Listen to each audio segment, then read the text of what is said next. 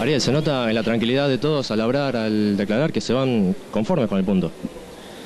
No, yo como decía antes, creo que eh, la mentalidad que tiene el jugador es no, no, no conformarse con un empate, pero sí, sí buscando el partido y mirando el partido, creo que es bueno. Es una cancha bastante difícil, es una cancha que te meten adentro de- del área, como le decía recién a tu colega, creo que, que, defendimos muy bien y una jugada, una jugada muy aislada, un centro que tampoco es muy bueno, Palermo lo hace bueno, así que creo que, que por algo es quien es.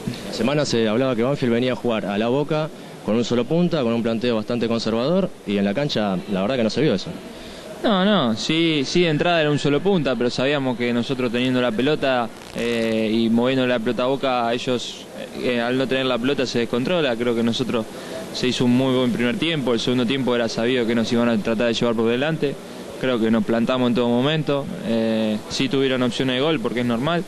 Esto es una cancha que, te quieren pasar por delante, pero nunca, creo que nunca no- nos arrasaron ni nos pasaron por delante. Es más, creo que si con Darío en una, una que creo que fue un penal bastante claro, eh, podríamos haber tenido la posibilidad de sumar otro gol.